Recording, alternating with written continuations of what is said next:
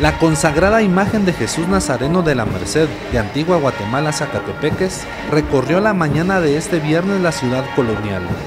La procesión fue observada por miles de fieles católicos y turistas que se han congregado para observar el paso de los cortejos procesionales del Viernes Santo.